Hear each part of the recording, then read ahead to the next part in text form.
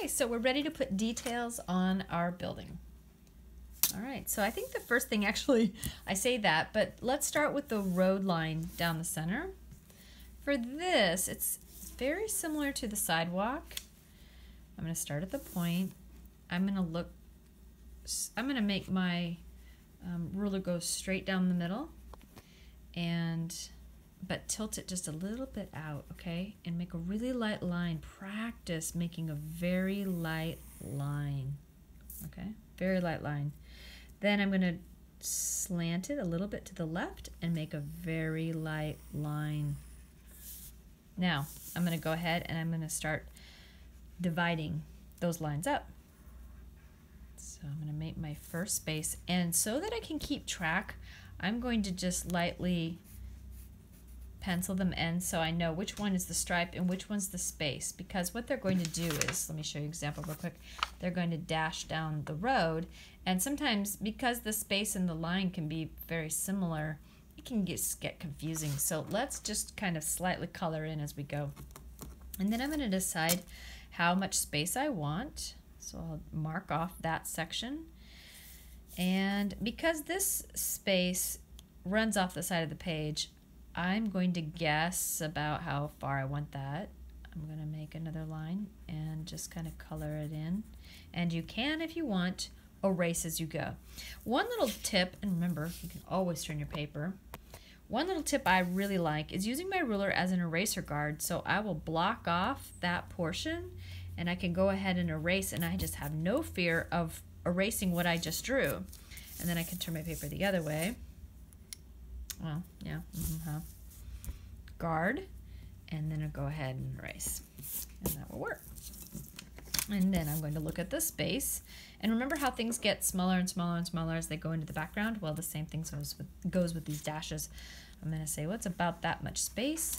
I'm going to eyeball this and say that's a little bit less than that one.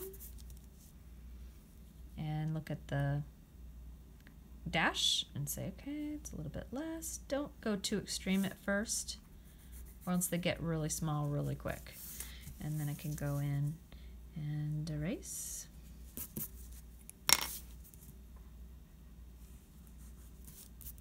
Yep, I guarded too much.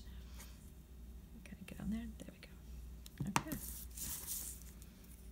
And go on down the road, okay? So I'll leave this a little bit undone just so that you don't have to watch me do the whole thing because that's not the point of the video. This is not a... Okay, so see how why it's probably, it's just, I think it helps to mark it so that you just don't get too confused. I think it gets confusing really quick. Now, once you get to in here, it's just kind of a you're just reinforcing that line and they just kind of turn into dots. They just go into the background. And then you can go ahead and erase in between, okay? So go ahead and pause if you need to as we go so that you have that. There. Okay, so the dots, the dashes are done, except that, you know, I go in and darken them, make them look nice, and that would be that. Okay, let's look at our buildings. We're going to put some details on, and let's just start on the side and do something kind of general. Let's make a big display window. So I'm going to decide how big I want that store window to be. I'm going to draw it about an inch from the concrete. And I think I'll go, what the, let's go, how many inches is that? Four inches? Of course, you know, this is just in case you need to, you really like something to measure, I'm going to go to the point. I'm going to go, I'm matching the point up with the bottom of my display window. I'm holding my ruler with fingers that are splayed out. I'm making sure again, I'm double checking the point and the bottom of the window are attached and then I go ahead and I draw my line to the left. Okay, there's the bottom of my window. I'm going to do the same. I'm going to go from the point to the top of the window I'm going to hold my fingers so the rule does the ruler doesn't pivot and draw my line for my window out here. Okay, another thing I'd like to do is to draw and make my window look a little bit more, um, I don't know, polished. So I'm going to do what I, I just call double lining where I go ahead and I draw a second line in there. And I am having to follow the point when I go, when I, when I have the top and the bottom of the window or the top of the bottom of the door, all that goes to the point. I line it to the point and I go ahead and draw it. And it just gives it a little bit more of a look that I don't know, it just looks nicer. If you really want to indicate glass, and this is kind of in cartooning mode, but you can make a kind of couple little lines like that. Make sure they're fairly straight, not curvy, or actually maybe even use your ruler. Okay, so we're just going to insinuate that. Let's do something like that over here. I'm going to go about an inch from, I'm just going to match because It'll be easy and you can, you'll just start seeing, just stays with the, with the same rules. The bottom and the top of these things go to the point. Okay, drawing my second line just to make it look kind of neat. Up and down. And now we've given ourselves just kind of a, a framework to start with, okay? All right, let's go to the next one. I'm going to do it from the left. I'm going to make a big double door. So I'm going to go straight up. I don't know if you need a measurement. I know a lot of you really like that. It's about four inches tall. Of course, you can make it what you want. And then I'm going to do the top of the door and then go down. I'm meeting the concrete, okay? If I don't meet the concrete, do you see how it looks like a shop window? Because you can't you can't use it as a as a walkway. So make sure it meets the concrete. I'm going straight up and down and meeting the concrete down here on the sidewalk. And then I'm going to guesstimate a little bit as to where half is and then just go a little bit inward because remember things get smaller as they go to the background. So I'm just going to go a little bit offset of center. Not much because these aren't that separated. And I'm going to do a double line door because these are two glass doors in my make-believe world and two doors would make two lines. But I also like the idea, like I said, of double lining things in general because it just makes it look more fine. And you can double line as you go, just depends. I just like making sure I like where the line went and then putting it in. Oh, that line didn't go so hot. Okay, there we go. So there's my double door. I'm going to put a handle in. So I'm going to decide how much I want, how big, how large, how tall I want the handle. I'm going to put the handle on the left side because I'm on the left side of my page. It's a little bit easier to draw the next handle by going to the point using this as my guide. So I'll take the top of the handle, put it to the point, and then I'll know where to start my handle, somewhere in here, okay? Do you see how it goes a little bit higher up on the page? This this dot, if I were to draw a line, like look at my ruler, watch it go up the page. It's lower down. Things that are closer to you are lower down on the page, and the ruler creeps up as it follows the lines of perspective. It's, it's called hierarchy. You're going to find that, that objects go higher and higher and higher up the page the further they go back into the page. So my line's going to be about there. I'm going to look at this and mark, mark it up next to the point, line it up, and say my handle will end about there, and then go ahead and draw that line. So see how this handle and this handle are you know, one's higher. But that's because they go to the point and that's going to help your eye know that these handles are the same exact size. I'm going to bring a little line straight just to make them a little bit thicker so someone can grab them. There we go. Now, if we want these handles to look like they're handlebars, what we can do is we can make just flat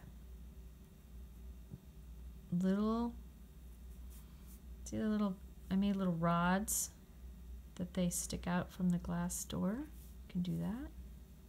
I'm using my ruler, so it looks nice. Like that. So now I have little handles.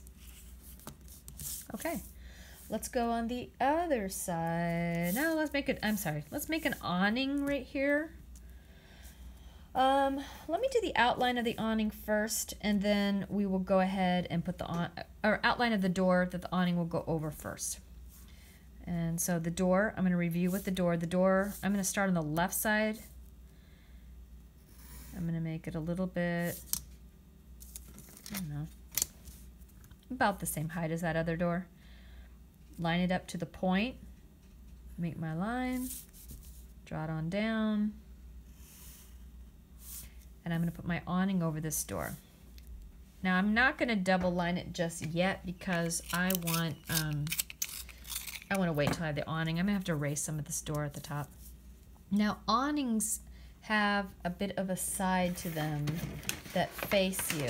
Let me show you what I'm talking about. We're going to draw this. So this little side pops out from the building and because it is flat on and blockish at you, it's not it's not flush like a window is part of that side of the building. This is actually perpendicular to the building. So we're going to draw it as if it was one of, you know how we did the blocking up here? It's very flat on. We talked about that. Things that face you front on are going to be very um, almost like up and down and side to side. They don't go to the point. But the second you get to the side of that object, it goes to the point. So the awning Let's pop it out. We could actually just use this door frame as our guide. I'm going to go flat with my ruler and I'm drawing kind of a right angle and then I'm going to draw an arc. Now this is very much like how you would draw a you know a letter in block in one point perspective block lettering in one point perspective it's kind of got that arc like a the side of a B or the side of a C. Okay, lining it up to the point, I'm going to use just as much as I need. I'm not, I mean, I don't have to go all the way back because I would have to erase it all in here. So you just line it up. Go ahead and line it up there. Now, to cut this off, I have to think about what it did on the left side in order to know what I'm going to do on the right side. Because it arced like this, I'm just going to copy that arc and put it on over here and then erase that little tail. And again, you can use your ruler as a guard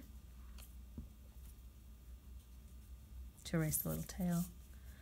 And then you can draw stripes. Those stripes would be, if you wanted, they'd be running parallel to that.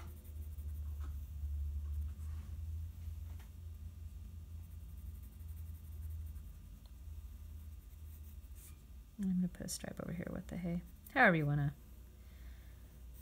do it. So now we have an awning. And I made that a little bit flat, didn't I? So instead of erasing it all, I'm just going to turn my paper and widen it and fix it.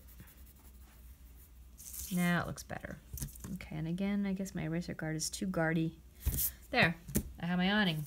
Now, I showed you how to do the doors. You can go ahead and go on in and do the doors, do any handles, details you wanted, double line it, things like that. Now, I have had a request to do a revolving door. Are you ready for this?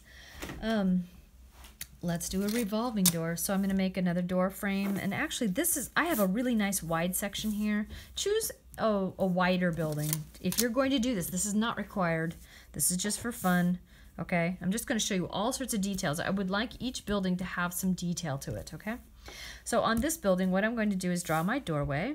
And again, this is not required. This is just for fun if you think you'd like to do this. Put it in perspective just like we did the other doors. Now, a revolving door, as you're walking down the sidewalk, you want to make if you were to build this building, you would want to make sure that that revolving door would not accidentally whack somebody that's just walking by and not going into the building. So you have to consider the fact that you need to have an area to put the door in, almost like um, a, a, a it has to have a, a cubby to put the revolving door in. So I'm going to go ahead and make a flat line in here and that's going to make it look like I have a little room in here to put that revolving door. And then I would need to decide where the revolving door, where would be the, the post for the revolving door. Let me draw, I'm going to hack it out real quick so maybe you can understand where we're going with this before I make it look bad. before I actually make it look amazing, right? Okay, so this line is in perspective, this line is down. We're making this cubby and and it's like you're making a box. You're it's this part you're not going to see. Okay, this is all this is all covered by wall, but this is what's going on. You're making sure that you have this post that goes down into your box where you're going to have people step into the the door. Now because this is like a pinwheel or it's got these tabs that you know you walk into those those glass doors those doors cannot exceed this this line or else they'll accidentally hit somebody as they're walking down the sidewalk. So I'm going to draw that would be the foot of one side of my door and this would be the other side of my door. And there's my glass door and then on the other side of the door I'm just going to draw this out real quick so you can kind of see where we're going with it. Okay, I'll show you how to do it, but it's almost like a plus sign at the bottom and a plus sign at the top and they're parallel and then down and you've got these this revolving door but we're not going to see all of it. We're only going to see a little bit of it. Do you see how much goes away? So that's why I decided to draw in the cage. It it's going a lot of it's going to go away. Okay but if you can understand what's happening in there. So we can make a pretty thin here's, let's say, the rod that it all sits on, and it sits down here on the floor in the center of my little cubby. I'm going to go ahead and draw the door. Here's the bottom of the door. And the top of the door we may not actually see, but I could kind of make it dark. And then I can go ahead and go up. Make it look like it's glass. Oops, well, that makes it look like it's got a crease. Whoa, my eraser. And then I can go ahead and draw maybe the other part of the revolving door over here. And draw the side of it here.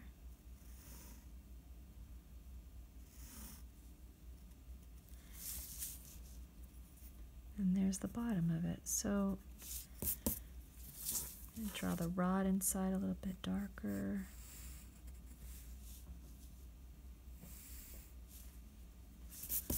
And there I have a revolving door. So it's not, I don't know if that makes sense, but it is your, uh, any any door that you have that's going to go around and around, it's going to have basically, it has a panel of glass. Oh, I should just do it over here. It has a panel of glass, and that panel of glass is intersected with another panel of glass. Does that make sense? And again, you're just not going to see it all. You're only going to see part of it as it's at the bottom of your little cubby. Okay, that is not required. It's just for fun. I had someone ask me about it, okay? Okay, another thing I got asked. We got brought. Oh, um, bricks. Let's talk about bricks. I am going to. Let's just do it on this. Let's first do stone. Stone is just like bricks, except it's bigger. So I'm going to go ahead and really lightly throw in some lines of perspective along this building. Big lines for my stones. Notice how it's fanning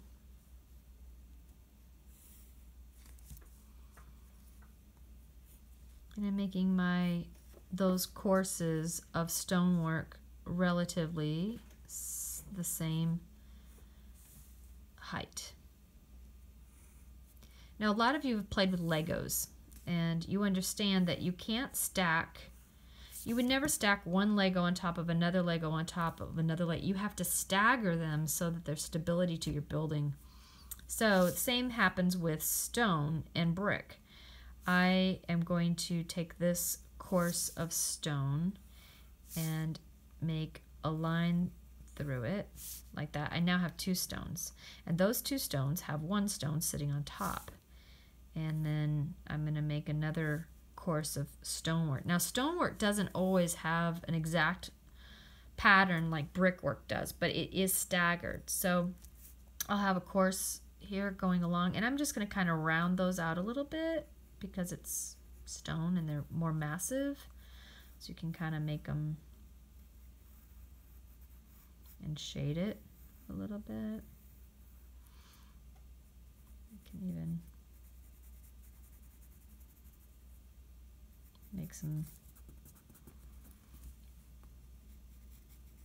make it kind of dirty and rough cut. I'm going to make another staggered. I'm not going to keep the line straight up the, the whole thing. You just have to keep kind of staggering those stones. I'm going to kind of round those corners out because they're usually not incredibly sharp unless they're really polished like marble. I'm going to stagger it over here.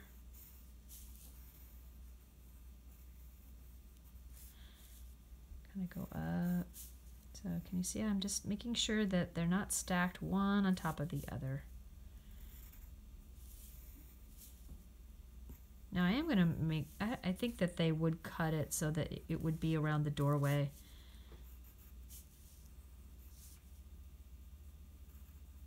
And sometimes they throw a little one in. And make that one stone.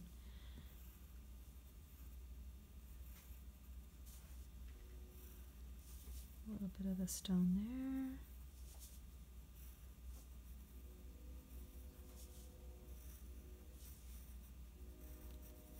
That. So now I have stonework, okay? And you can go all the way up. Uh, let me do this course along here.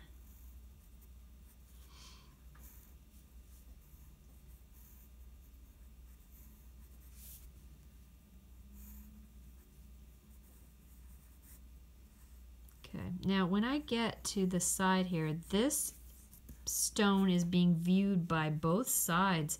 This stone doesn't just go away. Don't start making up something completely different over here. You have to remember this is the corner of the same rock.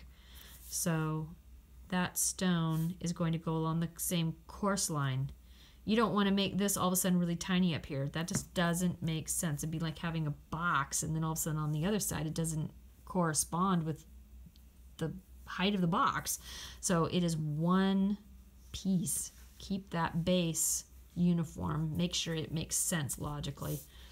And then you can go ahead and Okay, so that would be stonework. Now brickwork's a little different because this one doesn't it doesn't always sit exactly in the right pattern because each stone is unique and the stone mason has fitted them like unique pieces. Now bricks are completely uniform, so they go along the same coursework. You would go ahead, but of course they're thinner.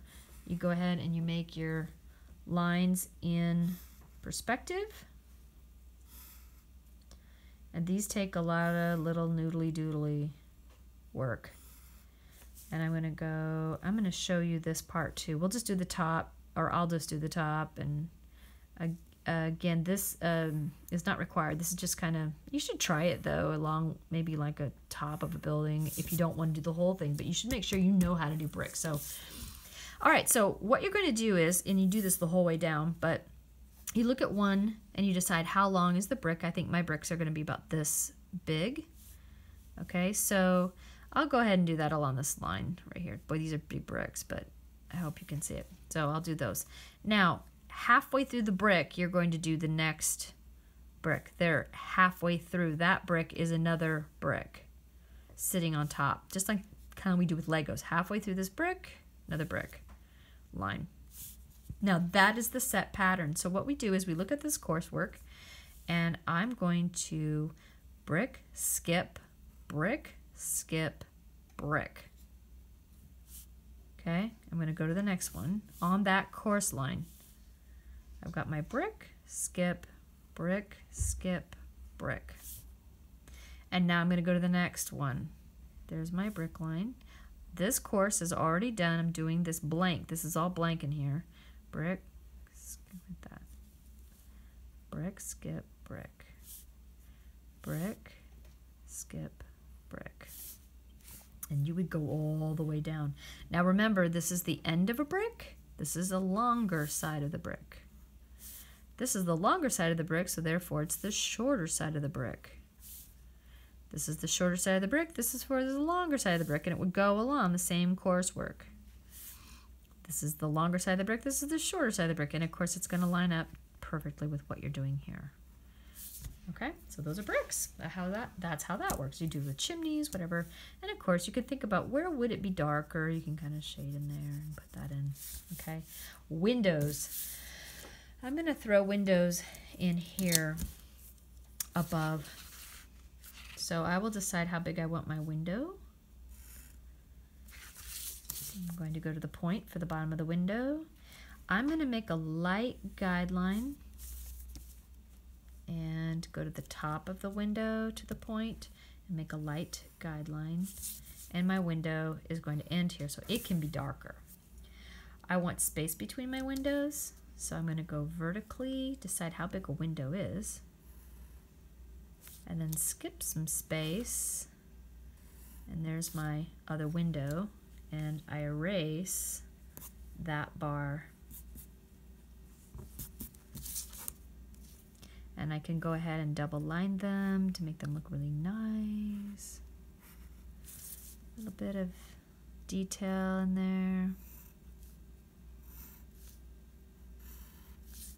I'm trying to go a little bit faster because you guys have been so patient. And I have plain windows. If you'd like to put the bars in them, the panes of glass, I would go up and down what I think is about halfway up and down. And then I would cross to the point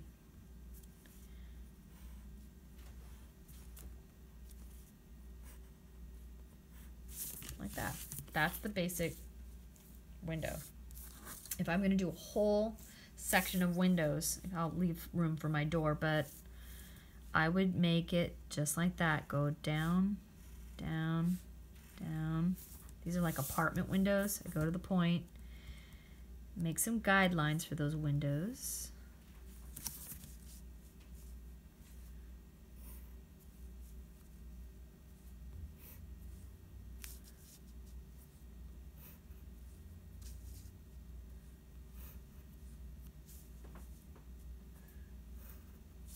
And then I'm going to go straight down, cut through, erase any parts where I might have overshot the line or close up any parts where I undershot it. It's just not completely closed up. And then go ahead and I'm going to cut these windows really kind of small so you can see how to do this.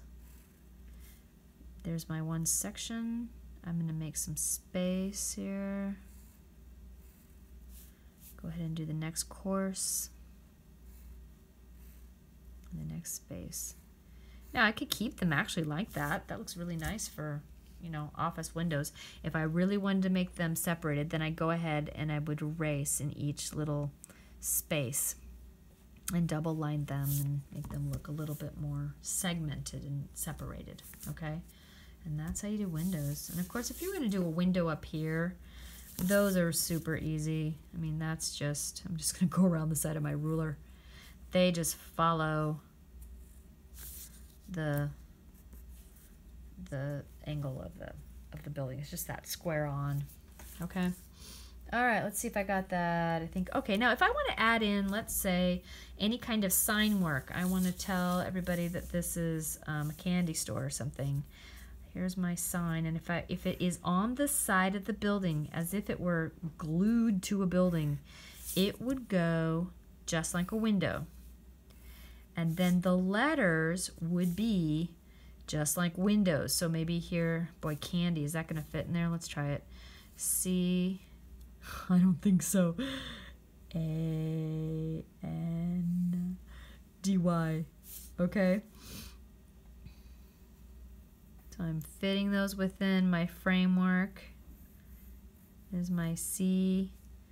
Here's kind of my A my N, my D, and my Y. Now, the crossbar of my A has to go to the point. If I had E, those, the top and the middle and the bottom, all that would have to go to the point. And then I can fatten those up a little bit, but the, even the C, it has to go to the point. So the top of the C, the bottom of the C. And then I can make it thick and do the block lettering for it.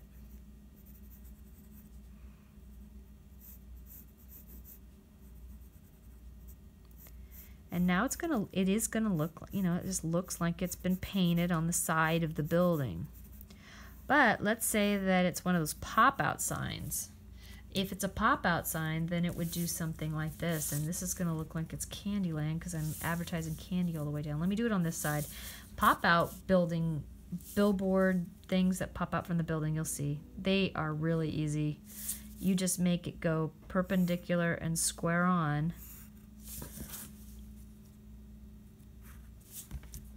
erase any lines that make it look see-through. And then you just write, you know, try to space it out, but you've got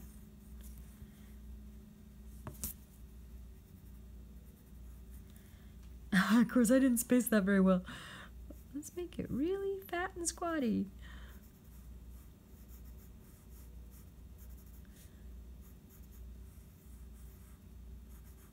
not spaced. I'm just trying to really rush. Sorry about that. But you see, it's it's just straight on. And then you can make um, posts that pop out from the building. And it's going to look like one of those kind of illuminated uh, boards that come out from the from the building. Okay, those work. Uh, let's look at some details you want to put in. Of course, we have this narrow this narrow um, walkway. But if you decided you wanted to put in, say, um, a potted plant or a trash can or something, seriously, those are easy. Just make sure it's kind of rounded on the bottom and just draw it. It'll fit in just fine. And then I've got my little, I want a tree or something. Now, please don't the idea is that you learn perspective drawing. It's not that you just cake the whole thing with trees so that you don't have, you know, look at me, I get to cover everything up with the tree. Okay, so please don't major in covering up. I w I'd like to see the details are in um, perspective, so, okay. Well, okay. I'm clearly not making a tree very well. Sorry. I hope you get the idea. So there's my trees. Uh, what else? Um, light posts. They can either just come out from the building again. So the bracket, I'm going to put the bracket into perspective. The bottom and the top go to the point, and then I can have that street lamp come out.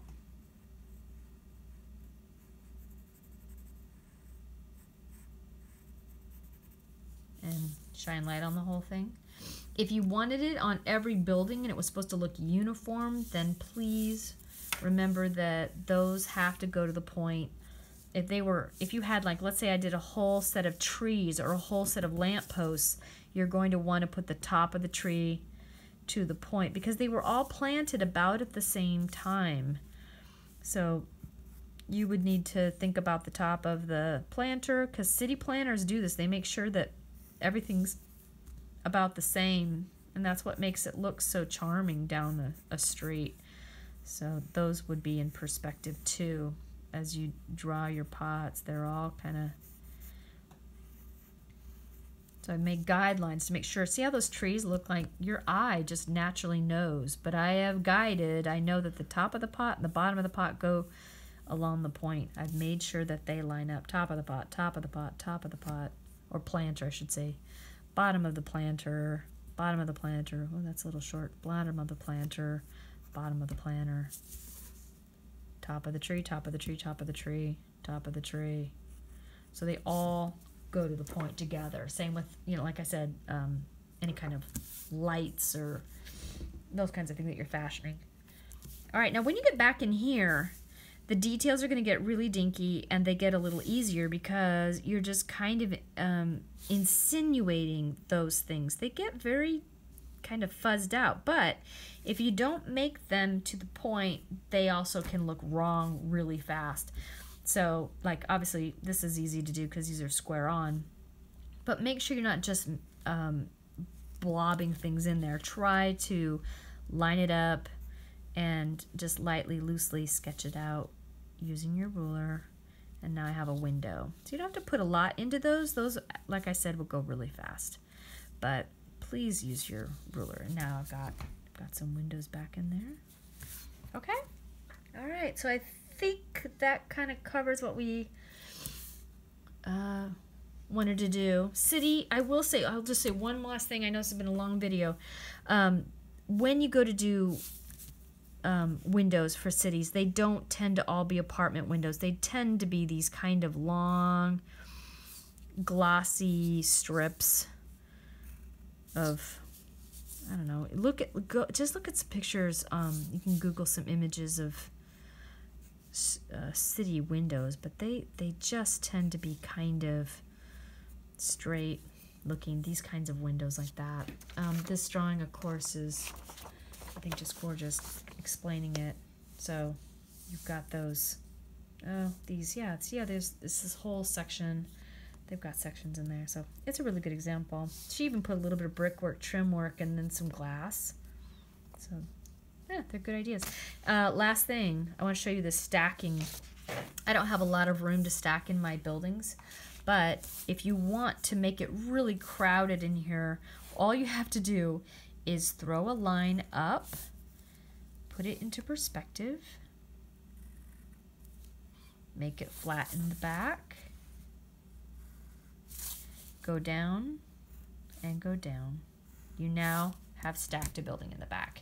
And you can do this again and again and again. Just check a line up, put it into perspective, go straight down, and then you've got that, you know, straight down and however however you want it. You can also, you know, make um, added details and throw things in.